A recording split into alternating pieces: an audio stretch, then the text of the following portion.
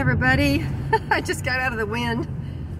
Connie here, and uh, it is uh, February 21, um, 2024, and I just had a thought of that everyone, everyone should have a house to live in, or a yurt, or a tiny home, or a good RV, a sturdy, or uh, and a house, a home, or shelter, as well as uh, car, a vehicle, something to get around in, and a gun. Because, well, if you have, if everybody has a gun, there won't be any crime. I mean, the criminals know that you're a sure shot, and they're not, not going to try anything, even if they have a gun. If They can get them. They can get them. Unless they're a felon, but then they can still get them. they can still get them. So that's what I think everybody should have and has a right to have. Because uh, I know that the when when the squirrels are born, they've got trees to live in, right? And the bunnies are born, and they've got bushes to hide under. And um, they've got shelter.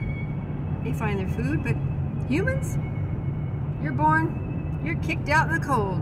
No house, no car, no gun. You better go and get out and get some jobs. Get some jobs and get working because you need to earn your keep. I don't know if I'll put this up. I really don't. But if everybody had that and everybody deserves it, even the deadbeats out there deserve all that because they they wouldn't be deadbeats. They'd probably be happy and moving along.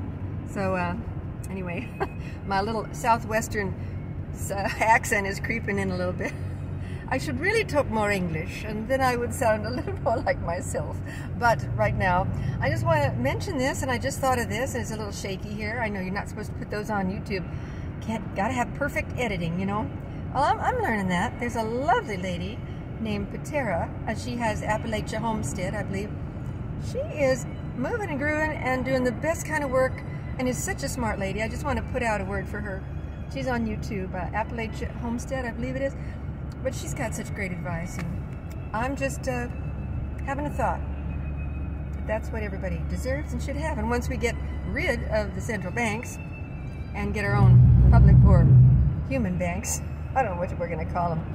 I'm looking into Old Glory right now, which is in Oklahoma, is a bank that's uh, more focused, focused toward the people and not toward the bankers' wallets and their investors.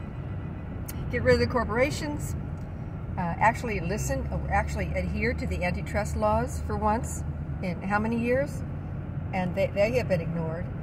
Uh, get some get, get a president in there, or if we need a president, I'm not for presidents and government much, but if we need them and people think they need them, and get a good one in, get a, a benevolent one in, not these malevolent evil horrific people that have been in there since Kennedy was shot. And I'm not so sure before Kennedy if we had anybody good. FDR was a snake in the grass with putting those Japanese people into in term, into concentration camp and all the other stuff that he did. So my mother used to love him, but she didn't know. You know, our parents didn't know a whole lot. So, but those of us that are boomers that are finally getting it at about maybe 50 or 60 so, are getting it, but we're only about 2% of the population. There's only about 168 million of us, and the rest of them are all brainwashed and ready to take on the Communist Manifesto of diversity and inclusion. Oh yeah.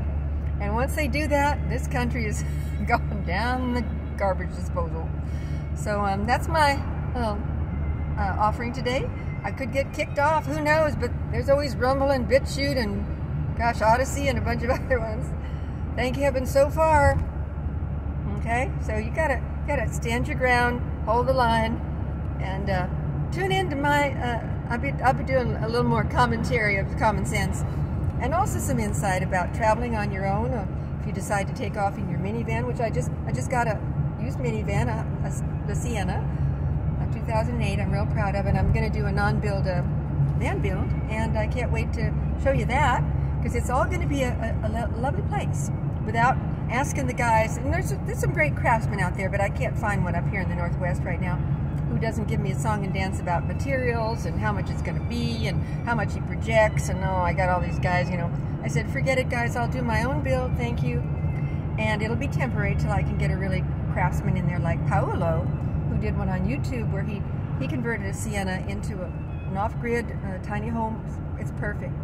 Just look up, um, I think it's called My Last Sienna Build.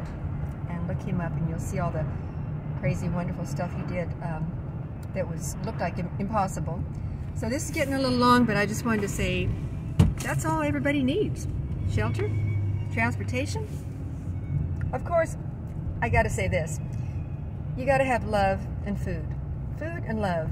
Sometimes people find love through food. Not a good idea. You remember, food is your medicine. Eat organic if you can find it, and grow your own, and go to the local markets, and have a community that is completely away and apart from any government agency. Don't be a don't be an NGO. Don't be a, a chapter. What is it called? No, that's that's bankruptcy. Don't don't be a um, whatever the churches have, they have to now adhere to whatever the government tells them, which is the Communist Manifesto. So watch your churches like a hawk. And you don't want tax exemption because guess what? We don't owe any taxes. Tax is, is theft. I've been studying this a lot for seven years. So I'm just saying that just be watchful and have a good have a good week. And uh, bless you, all of you. And uh, uh, if the if the Christians, if it's between the Christians and the Satanists, I think I know which side I'm going to choose. What about you? Bye.